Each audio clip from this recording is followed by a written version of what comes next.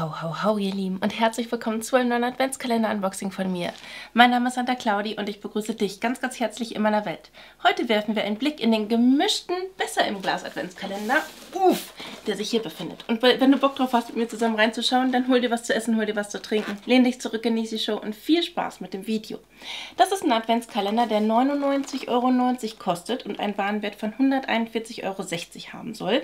Das wird natürlich nachgerechnet. Wir haben dazu ein Tee- und Gewürzheftchen bekommen, wo leider nicht die Preise drin stehen, aber zu jedem Produkt, was hier pro Kläppchen drin ist, ein Gewürz, äh, ein Rezept drin enthalten ist.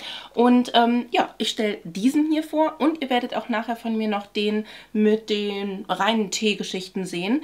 Und äh, ja, bei der lieben Nicole vom Kanal Chiquitas Place seht ihr den kompletten Gewürz-Adventskalender. Schaut also gerne bei ihr vorbei und äh, ja, genau, ne? Ich würde sagen, wir stellen das Schätzelein mal in den Hintergrund, weil der ist ganz schön schwer und solltest auch du Teil der Crew hier werden wollen, dann abonniere doch super gerne meinen Kanal und folge mir auf meiner kleinen, aber feinen Beauty-Reise. Nein, ich stelle den nicht in den Hintergrund, weil dann fallen alle Kläppchen runter, weil der keine Zwischenebenen hat. Das ist sehr, sehr blöd.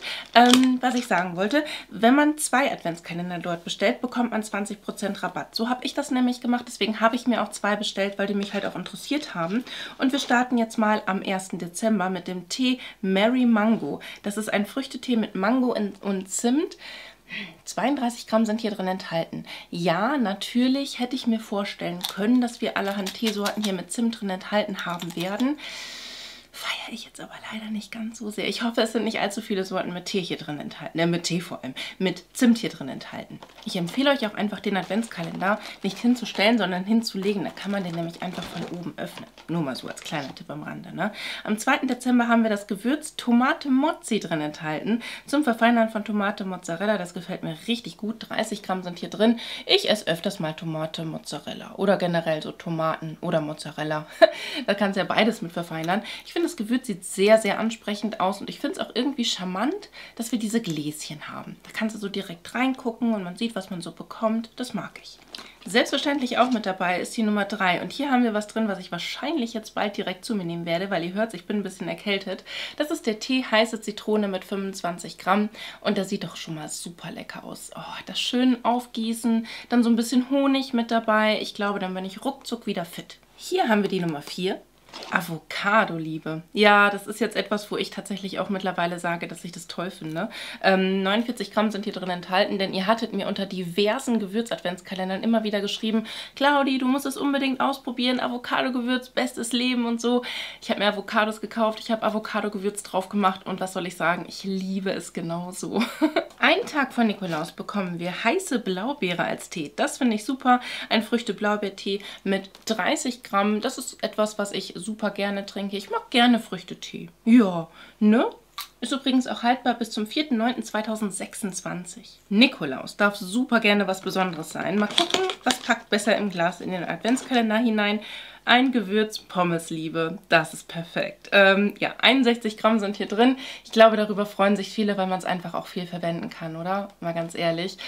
Wer verwendet sowas nicht? Du kannst auch Pommesgewürz auch super über Bratkartoffeln machen. Du kannst es über Kartoffelbrei machen. Ist immer lecker. Am 7. Dezember haben wir Schoki Oats hier drin. Oh, Schoki-Kick für deine Haferflocken. Äh, 43 Gramm sind hier drin enthalten. Es sieht ein bisschen aus wie Kakaopulver, ne? Meins ist es jetzt nicht unbedingt, muss ich gestehen, weil ich äh, nicht so gerne Schoki-Müsli esse. Das ist halt eher für meinen Freund und der ist nicht so der Porridge-Fan, ne? Deswegen wird das jetzt nicht unbedingt unser Favorit werden. Die Nummer 8 darf machen, dass es kracht. Und hier haben wir ein Rührei-Talent drin enthalten zum Würzen deines Rühreis. Das finde ich auch schön. 25 Gramm können wir auf jeden Fall gut gebrauchen. Denn äh, ja, jetzt aktuell fordert Julius relativ häufig mal Eier an. Und äh, dann kann man auch mal Rühreier machen und das da reinmachen. Ne? Das wird jetzt hauptsächlich Schnittlauch beinhalten. Genau, finde ich schön. Ja, also bislang waren eigentlich nur zwei Sachen mit dabei, die mich jetzt nicht ganz so vom Hocker gehauen haben. Mal sehen, worüber wir uns in der Nummer 9 freuen dürfen. Ähm, das ist wieder ein Tee Schlafmütze, Räubusch-Tee mit Baldrian und Lavendel. Den kann ich auch aktuell sehr gut gebrauchen. 19 Gramm sind hier drin. Ich bin zwar ein bisschen erkältet, aber ich kann aktuell nicht so gut schlafen. Und ich glaube, da kommt sowas ganz gut. In der Nummer 10 darf es auch mit dem Klassiker weitergehen. Das ist Alio e Olio Gewürz. Die, äh, die Nummer. Äh, das sind 45 Gramm drin enthalten. Und sowas ist echt schön, wenn man sich wirklich so ähm, Nudeln macht und ein bisschen, nur so ein bisschen Öl dran macht. Und dann dieses Gewürz mit dabei. Das reicht schon tatsächlich aus und dann hast du schon ordentlich Geschmack dran. Ich finde es schön. Mein Freund ist da nicht ganz so Fan von. Uh, die erste Schnapszahl, die Nummer 11, wird sicherlich einen Tee enthalten. Oh, heiße Waldbeere, das mag ich auch. Ein Früchtetee mit Waldbeerengeschmack. Und wie cool ist es, dass man die Beeren auch so richtig sieht. 30 Gramm haben wir hier drin enthalten. Das sieht einmal so aus. Finde ich richtig schön gemacht. Doch, das mag ich. Halbzeit, die Nummer 12. Oh ja, Stullencrunch. Mega nice für den Crunch auf deinem Brot, aber du hast tatsächlich hier auch noch ordentlich Gewürz mit am Start. 45 Gramm haben wir hier drin enthalten. Das finde ich richtig schön. Das gefällt mir. Das kann man definitiv gut gebrauchen. Doch eine schöne erste Halbzeit. Das muss ich wirklich sagen. Ne? Gucken wir mal, was der 13. Dezember uns jetzt kredenzt einen heißen Pfirsich, ein Tee. Oh, okay, das ist was für meinen Freund, der mag sowas. 25 Gramm sind hier, hier drin enthalten.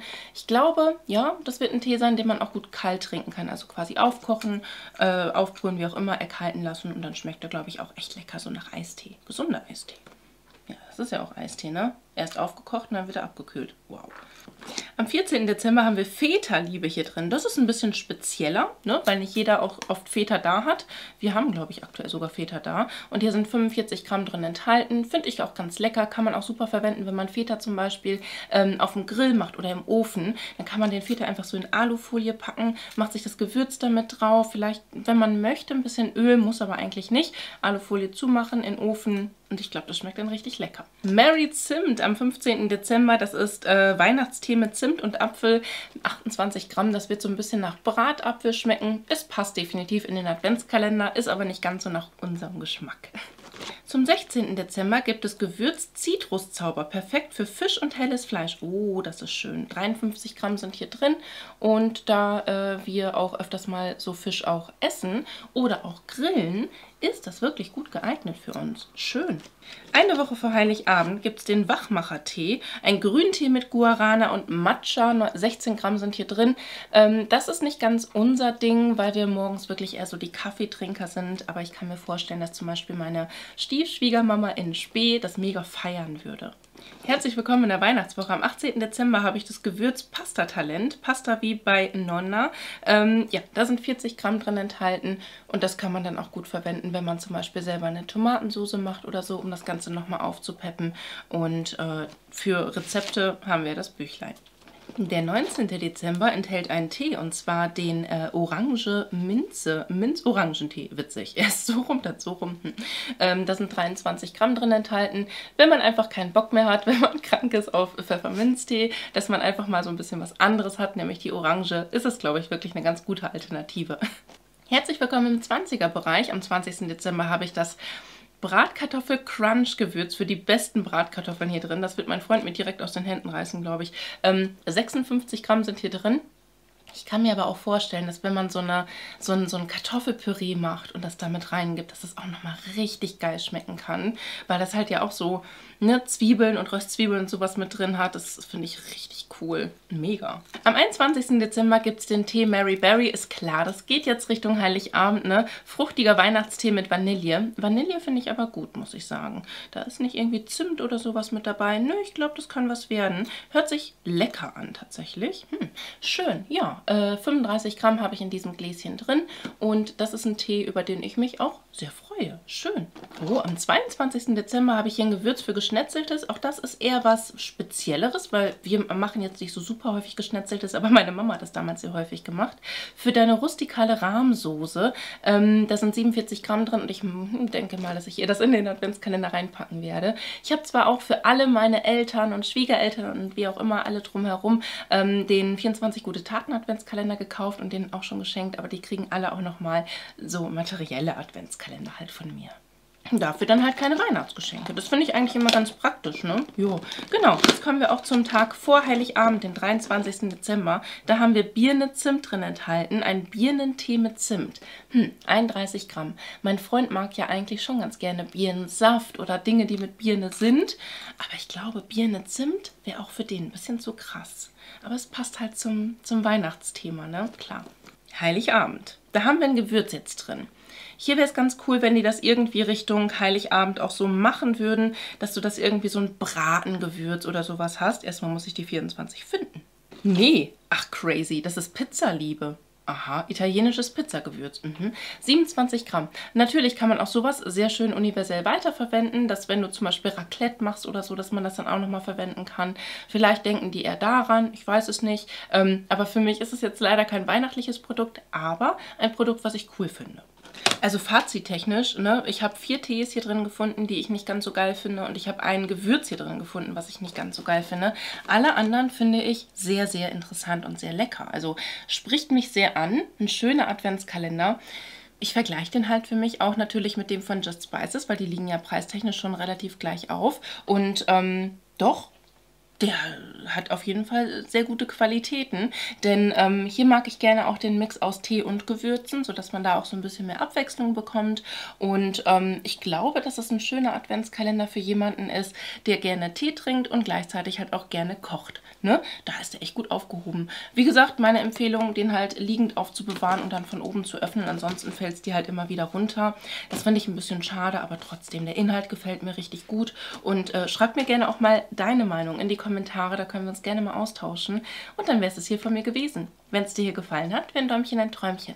Ansonsten wünsche ich dir einen wunderschönen Tag, einen wunderschönen Abend. Fühl dich ganz doll gedrückt von mir. Lass es dir gut gehen und hoffentlich bis zum nächsten Mal. Ciao.